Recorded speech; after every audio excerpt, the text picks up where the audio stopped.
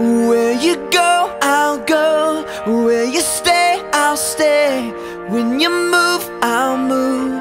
I will follow.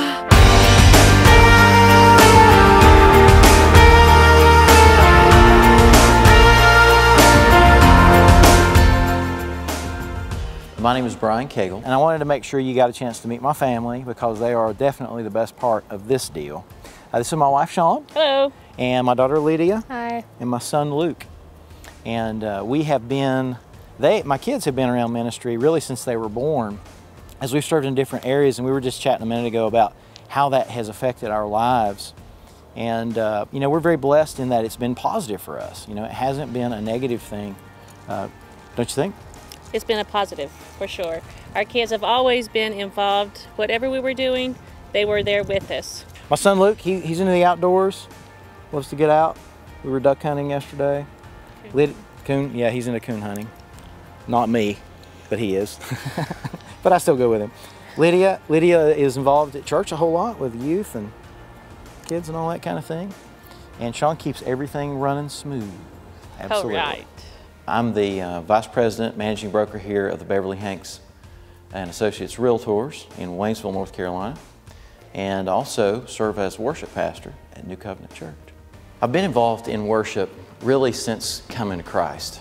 Worship was a natural thing for me, and uh, somehow found myself involved in leading other people in worship.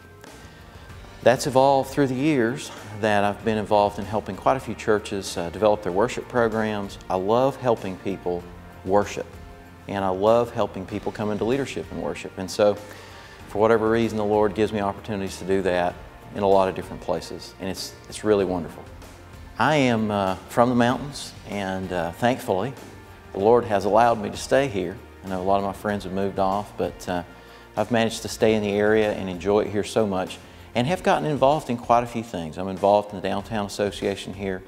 Uh, I'm involved in leadership of the uh, Haywood County Board of Realtors, and I'm on quite a few boards, uh, which I enjoy doing and being involved in leadership.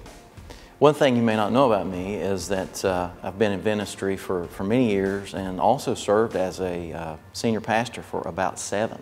Uh, my wife and I went over to Lifeway Community Church and planted that. And I've often said this if you can pastor a church, you can do anything. You know, the way we live our faith out is interesting to me. Uh, and a couple of my heroes uh, one is Nehemiah, another is David. These guys were so involved in life. Uh, they're very inspiring to me. You know, they weren't just like leaders at church, which is very important, but they were leaders in life, leaders in everything that they did. That inspires me. That's the kind of guy I want to be. I really believe that our faith is not just about a set of ideas that we hold or just believe in the right things. It's about how we live and how we interact with other people. And I get an opportunity to live that every day in leadership of my office, leadership in the roles that I serve in.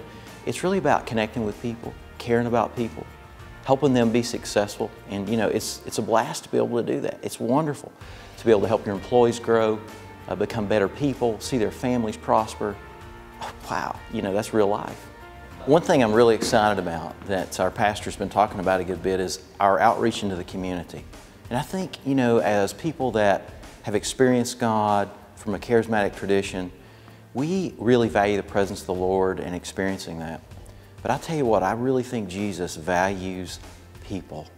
And I'm really excited about us lifting our eyes up and beginning to be a voice and to tell a story to our community about the goodness of God. And I think we're going to go to a whole nother place with that.